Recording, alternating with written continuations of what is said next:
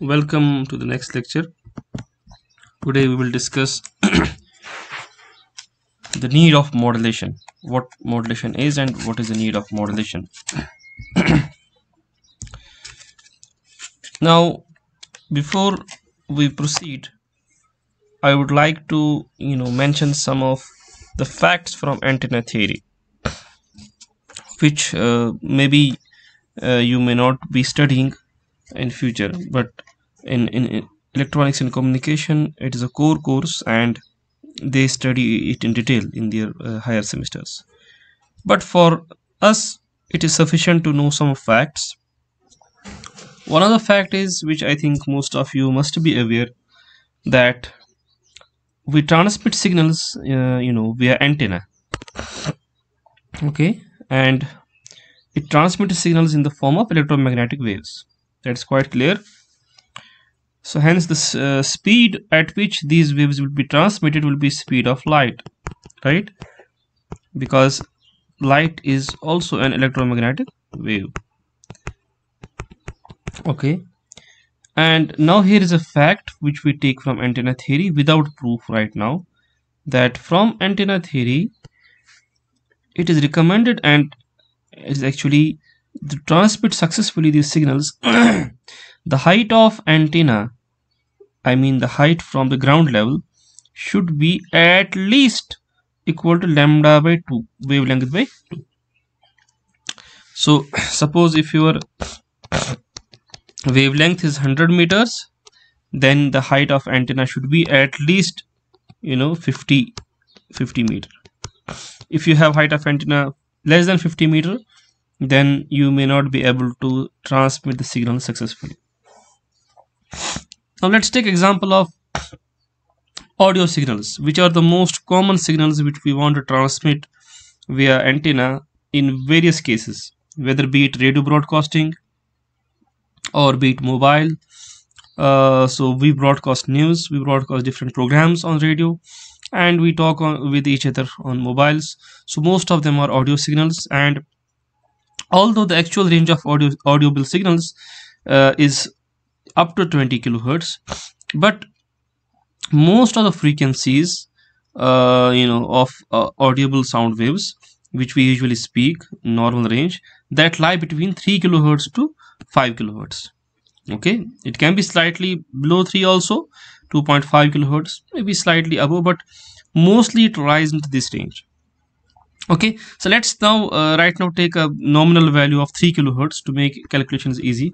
Let's suppose that when we speak most of the signals uh, you know most of the sinusoidal parts of our speech they are of 3 kilohertz range. And uh, you can in fact take this as a bandwidth also. Now when we convert using a microphone we convert uh, these signals to electrical signals so they basically before uh, you know at the antenna end they get converted into em waves. Uh, so let me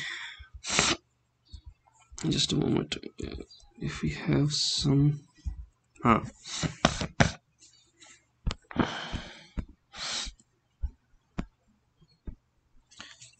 so here will I will uh, demonstrate it. Suppose here is a human being which is speaking something okay. And here is a microphone. So this is your usual mic. Wait just a moment. Ah, that's okay. And what we do is this mic converts sound waves into electrical signals right? And then we use amplifier. Okay and in fact we may even use power amplifier. And finally if we put it on the antenna okay so how antenna works a different theory it finally gets propagated in the form of em waves. That is what I mean. Now the frequency here okay what is the frequency in case of sound waves? So if you uh, you know plot it it actually is that how often the sound waves they cross the zeros right? Now em waves also if you see whatever em wave will be its frequency is also depending upon how frequently it will cross the zeros on the x-axis. So the frequency range in sound waves when it is converted into em waves the same frequency range will be here in the em waves also. Okay. Now we that is 3 kilohertz almost which we have taken here.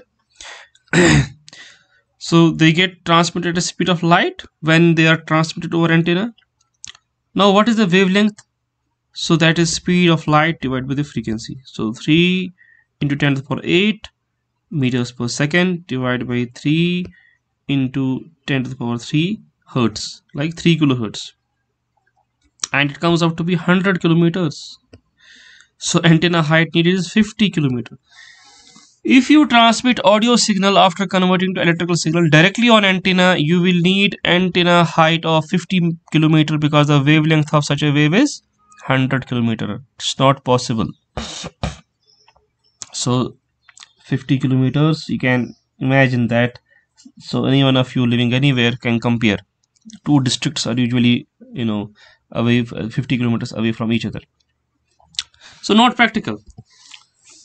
Now what is the what is to be done? So observe this thing that the height of antenna is proportional to lambda wavelength and wavelength is inversely proportional to frequency. That is the key. Now to decrease the height of antenna what we can do? We can increase the frequency hence the solution is to shift the frequency of signal right? But suppose i am speaking at particular mode and tone. You cannot force me to speak in a way that frequency is high. I cannot change my frequency. Now how to shift it? Now let's uh, let's assume that somehow we shift the frequency initially. So suppose we shift the frequency to 30 megahertz. So what will be the lambda? Sorry it is typo here. C by f so lambda will be c by f that is t into 10 per 8 divided by 3 into 10 per 6 100 meters. Height of antenna needed is almost 50 meters which is quite practical.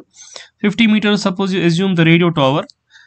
Okay radio tower height is usually of this range 50 meters 40 meters. Suppose you make it 300 megahertz. Okay so height of antenna needed will be 5 meters. Quite normal you can have 5 meter height you know. Now if you want even for mobile suppose we in gsm we use 900 megahertz. Okay?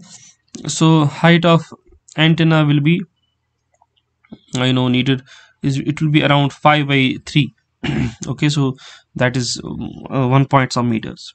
So when we speak on a mobile we are usually standing up uh, we are always above the ground level by 1 meter or so. So so the more you increase the frequency the less antenna height you need.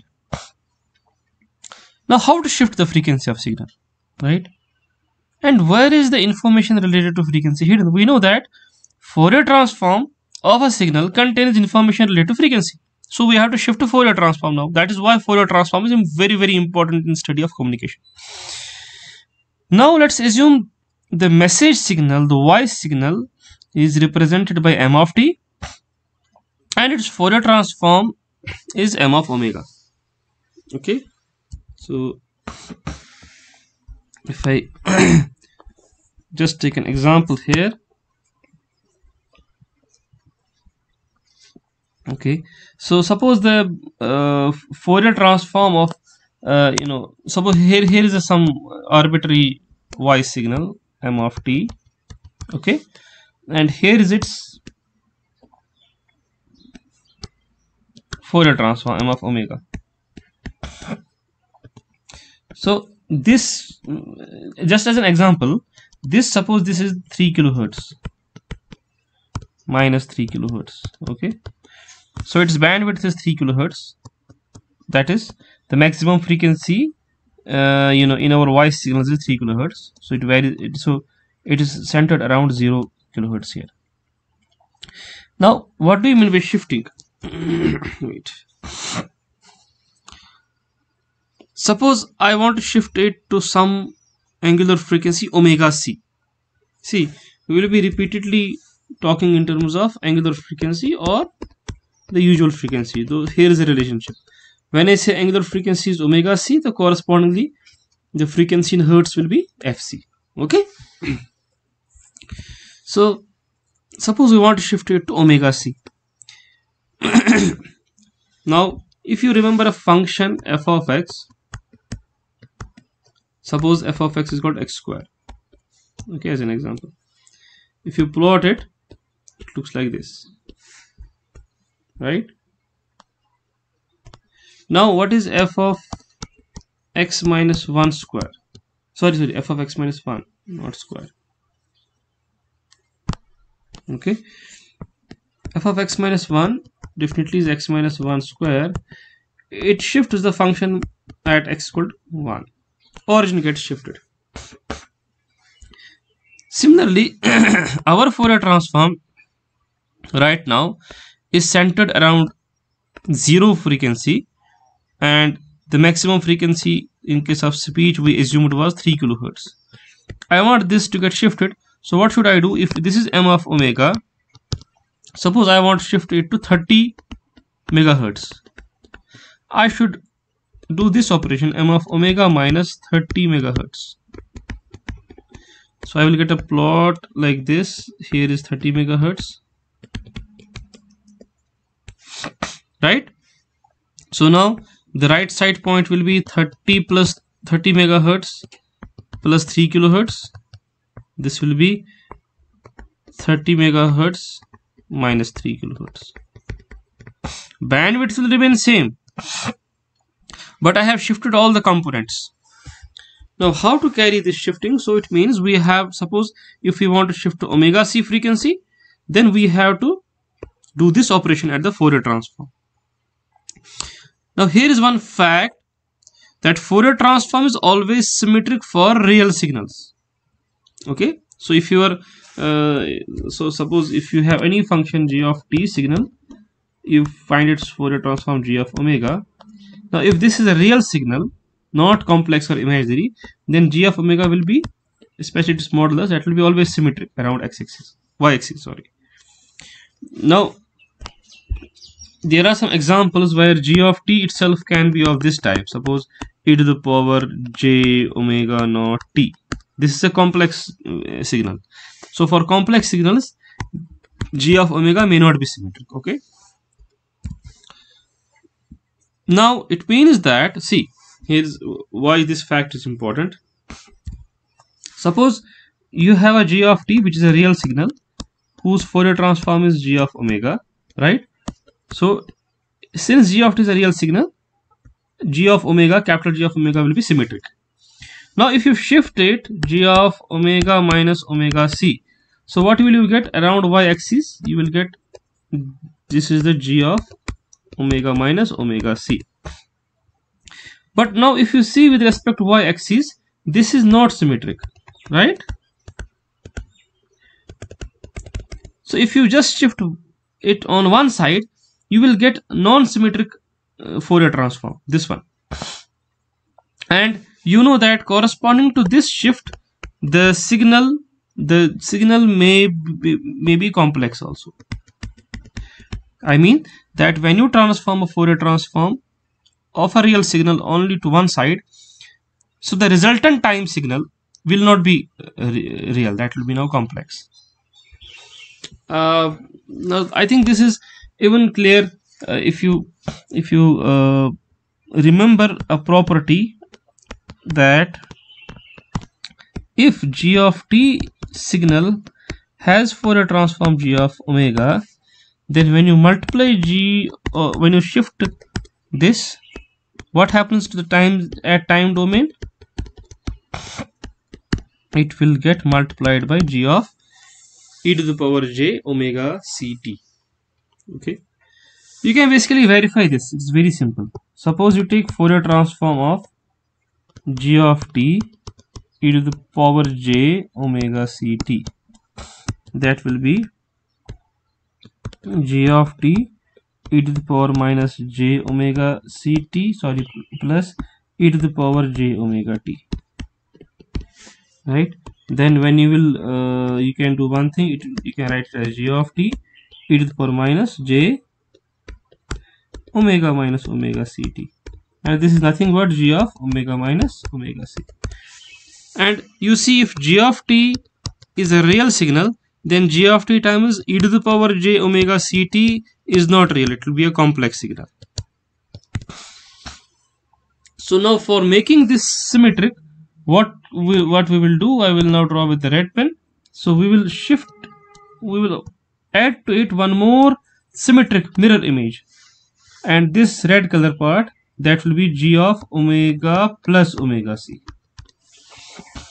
Okay. So for real signal Fourier transform is always symmetric. Hence after shifting to omega c we need to shift to minus omega c also and add to it. Now it means for a signal m of t whose Fourier transform is capital M of omega we need to obtain right shift plus left shift you know so as to make it real uh, I mean in time domain. So in time domain what does it mean? Here is the modulation theorem if you recall our previous lecture that when you multiply m of t with cos its Fourier transform is m of omega minus omega c minus m of omega plus omega c on one side okay? Okay i think is it typo here. I think should be plus. Now the conclusion is to shift the signal to higher frequency band centered at omega c. Suppose omega c is quite high. Okay it's 30 megahertz 40 megahertz 300 megahertz. So what you should do multiply message signal m of t with high frequency cosine signal. Omega c is quite high. In other words you can think of suppose we have a high frequency sinusoidal signal a cos omega ct if we make the amplitude proportional to the message signal that is what here it is done. Amplitude of cos is m of t message signal. Then the frequency components get shifted to that high frequency component. And we know that uh, those uh, when when your signal gets shifted to high frequencies your wavelength will get decreased tremendously. Hence you need less antenna height. This process of changing the amplitude of this signal cosine signal sinusoidal signal proportional to the message signal that's called amplitude modulation. This is the modulation. So now on antenna we will not transmit m of t we will transmit m of t cos omega ct because we need now less antenna height. And that is the one of important reasons for why we go for modulation. Okay? So there are other reasons also uh, why we go for modulation. Those reasons we will uh, study uh, in in next class. Okay? Till then bye